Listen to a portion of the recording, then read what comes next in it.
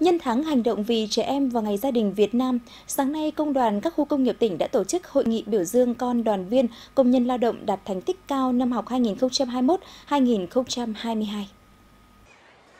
210 xuất quà với tổng trị giá gần 90 triệu đồng đã được trao để động viên con đoàn viên, công nhân lao động không may mắc bệnh hiểm nghèo, bị khuyết tật bẩm sinh và trao phần thưởng cho các em đạt thành tích cao trong các kỳ thi cấp tỉnh, cấp khu vực và cấp quốc gia năm học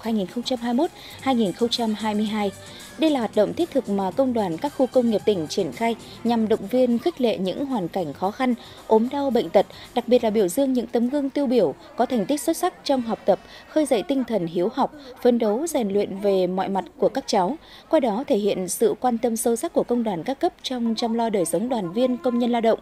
Nhân dịp này, công đoàn các khu công nghiệp cũng đề nghị công đoàn cơ sở tiếp tục quan tâm đẩy mạnh hoạt động khuyến học khuyến tài, khuyến khích việc học tập của các em học sinh là con của công nhân lao động để có thêm nhiều em có thành tích cao trong học tập, là con ngoan trò giỏi của mỗi gia đình, góp phần tích cực vào sự nghiệp bồi dưỡng nhân tài cho đất nước.